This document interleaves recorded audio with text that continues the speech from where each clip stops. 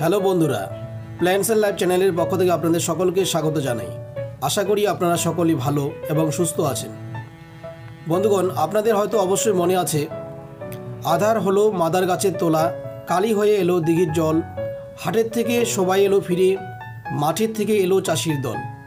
হ্যাঁ এটি রবীন্দ্রনাথ ঠাকুরের প্রশ্ন কবিতার একটি পংক্তি আজকে আমরা এই মাদার গাছের সম্বন্ধেই আলোচনা করব। এই গাছটি বিভিন্ন এলাকায় বিভিন্ন নামে পরিচিত।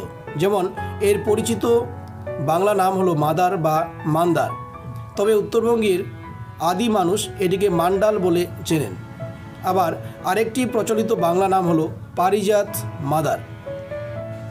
এর ইংরেজি নাম টাইগার্স ক্ল এবং ইন্ডিয়ান কোরাল ট্রি এবং বিজ্ঞানসম্মত নাম হলো এরাইথ্রিনা ভেরিগাটা।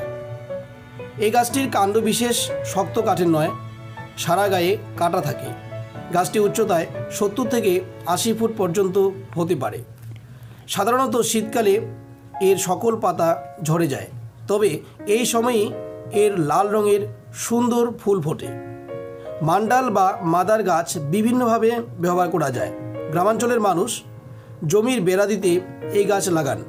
এর পাতায় বিভিন্ন খাদ্য সামগ্রী যেমন মাংস, চানা ইত্যাদি পরিবেশন করা যেতে পারে। এছাড়াও এর সুন্দর ফুলের জন্য গাছটি লাগানো হয়। গাছটি বীজ কিংবা কাণ্ড অর্থাৎ শাখা কলমের মাধ্যমে বংশবিস্তার করে। পারিজাত বা মান্ডাল গাছটির সাহিত্য এবং পুরাণেও উল্লেখ রয়েছে। এছাড়াও এই উদ্ভিদকে নিয়ে নানা কাহিনী রয়েছে। যেমন, পুরাণে বর্ণিত সমুদ্র মন্থনের সময় সমুদ্র থেকে উঠেছিল লক্ষ্মী দেবী ঐরাবত, কামধেনু ইত্যাদি এবং বিষ এবং অমৃত। এবং এসবের সাথেই উঠেছিল এক আশ্চর্য বৃক্ষ যার নাম পারিজাত। তো বন্ধুগণ, আশা করি আপনারা এই ভিডিওটি সম্পূর্ণ দেখেছেন এবং আপনাদের ভালো লেগেছে। প্ল্যান্স অ্যান্ড লাইফ চ্যানেলের পক্ষ থেকে অনেক অনেক ধন্যবাদ। ভালো থাকবেন, সুস্থ থাকবেন।